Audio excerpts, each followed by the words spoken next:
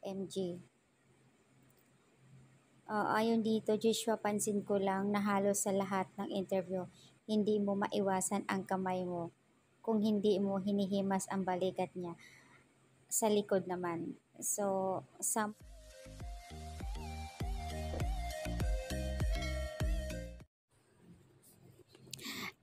Update Julia Barreto and Joshua Garcia sa interview nga sa kanila sa Cosmopolitan kung saan ay ibinahagi nila yung past nilang relationship. At ngayon nga magkasama sila sa isang movie. Kumbaga yung movie nila na relate sa kanilang uh, relation.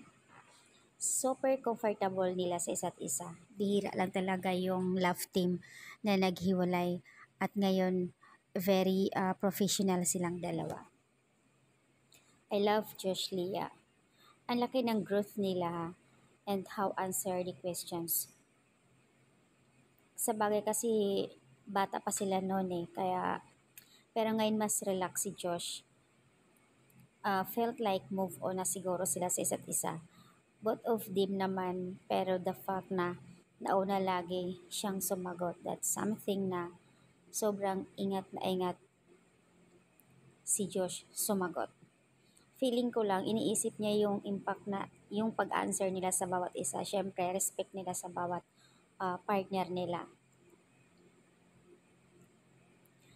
Ang nakakatuwa pa dito kasi yung pagkasabi ni uh, Joshua Garcia that time na inamin niya ha, pandemic. Dumating sa punto na hindi niya alam yung gagawin niya. Na nandoon lang daw siya sa CR na parang natulala yung dinidemo niya kung paano siyang umupo na iniisip niya si Julia. So, makikita mo talaga kung paano niya minahal si Julia Barreto. Nakakasad pero syempre may mga bagay talaga siguro nga hindi sila para sa isa't isa.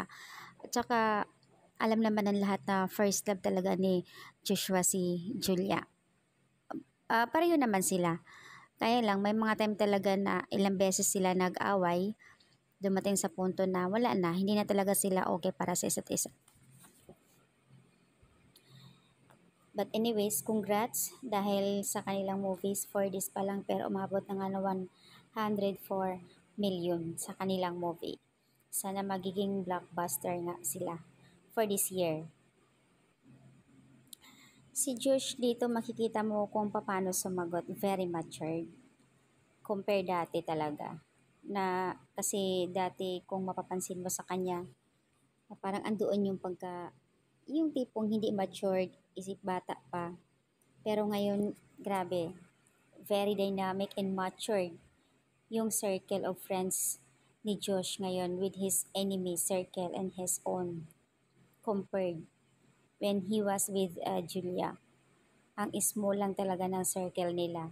Same age and range the growth and maturity that Josh has now is all because of a new environment, siguro nga. And I think this is the reason why Josh can quickly answer and he has no regret their breakup. And there are lots of beautiful things, growth and career opportunities come dahil siguro nga ay hindi talaga sila para sa isa't isa pero ano ngayon naman ang dumating na blessings sa kanilang dalawa. And sa katunayan nga, ipinakita din nila na talagang okay yung kanilang friendship. Tingnan mo ang movie nila ngayon, tinangkilik ng taong bayan. Super comfortable nila sa isa't isa. Mahal pa niya si Julia. Sabi nga doon sa isang comment, kung mahal ni Joshua si Emmeline yung kanyang girlfriend, feeling ko ngayon mas mahal pa niya si Julia Barreto. Kitang-kita naman sa mga galawan nila kaya lang, respect sa kanilang partner ngayon. Mm, shout out sa mga bashers and haters dyan. Basta ako masaya ako sa Josh Lia. Andoon pa rin yung lakas ng chemistry nila. Nakakakilig talaga.